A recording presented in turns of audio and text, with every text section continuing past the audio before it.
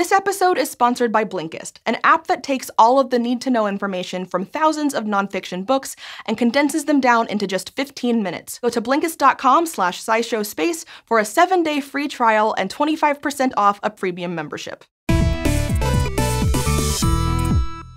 Whenever one celestial body passes in front of another, the closer object will usually block any light coming from the object behind it, creating an eclipse. For instance, we see a solar eclipse whenever the moon passes in front of the sun and casts its shadow over Earth. But every once in a while, it's not that simple. Rather than being totally blotted out, there's something we can still see. So today we're going to talk about when an eclipse isn't exactly an eclipse. Aside from solar eclipses, the other type of eclipses we see from Earth are lunar eclipses. We get one every few years, anytime the Earth passes directly between the sun and moon. But unlike a total solar eclipse, which completely blots out the sun, a lunar eclipse generally doesn't blot out the moon. The moon just darkens and turns red. And it's not like the Earth's shadow isn't big enough. The darkest part of its shadow, known as the umbra, completely engulfs the moon during one of these events. But some light gets through anyway, and it's all because of atmosphere. As sunlight shines past Earth, particles in the atmosphere scatter that light, but they don't scatter all sunlight equally. Shorter, bluer wavelengths scatter more easily, so they veer off into space. Meanwhile, redder light, which comes in longer wavelengths, can travel more directly through the atmosphere. But even that red light doesn't travel in a perfectly straight line. The ring of atmospheric gases surrounding the Earth acts like a lens that bends light inward into the Earth's shadow,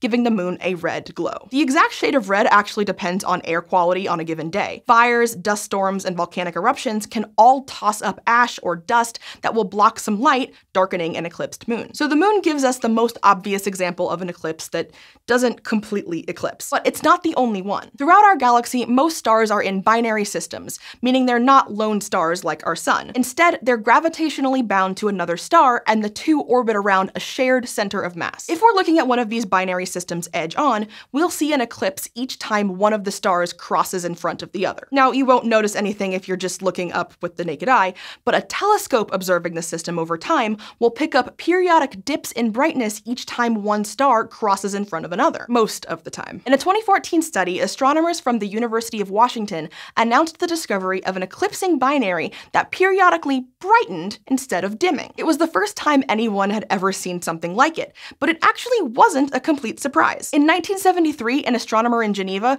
predicted that certain binary systems could produce a brightening pattern instead of a dimming one. He calculated that this could happen if one of the stars in the systems was a super dense object like a white dwarf or a neutron star. In that case, each time the compact object passed in front of its companion, its gravity would bend space-time, creating a gravitational lens that would bend the passing starlight inward. And from our point of view, the system would appear magnified, exactly like if we were looking at it through a magnifying lens. For decades after this phenomenon was predicted, no one ever observed anything like it. But when the authors of the 2014 study discovered an eclipsing binary that periodically brightened, they had a pretty good idea what they were looking at. In this case, the binary is made up of a sun-like star and a white dwarf, which is one of the densest objects in the universe. Its gravity dramatically warps space-time, so every time it passes in front of its companion, it creates a lens that magnifies the sun-like star. When it comes to gravitational lenses, one of the few objects that warps space-time more than a white dwarf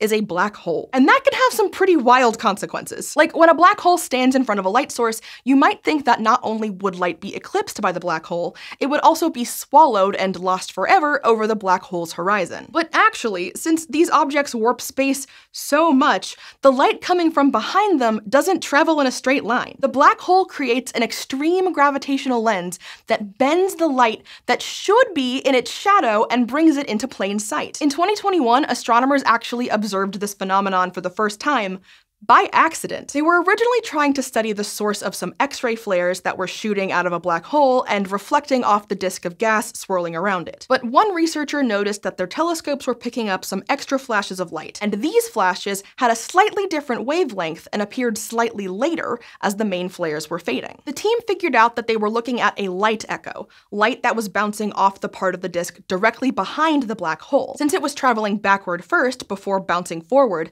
it arrived with a slight delay delay, just like an ordinary sound echo. So even though this light was heading straight toward the black hole, which was directly between it and Earth, in the end, it didn't get eclipsed. What's amazing about all this is that Overall, eclipses seem pretty simple. You can model most of them with a couple pieces of fruit and a flashlight. But even these seemingly simple events come with twists. And they remind us that no matter how well we think we know the universe, there are always surprises. And that's what makes nonfiction books so cool too. But for those of us with less free time than we'd like, reading an entire book might not make it on the agenda. That's why we use Blinkist, an app that takes the best insights and need to know information from over 5,000 nonfiction books and podcasts and condenses them down into just 15 minutes of reading or listening. They've got everything from history to self help. One of their popular self help books available now is The Art of Stopping Time Practical Mindfulness for Busy People by Pedram Shojai. So, Blinkist is a busy person's first step to accomplishing goals, from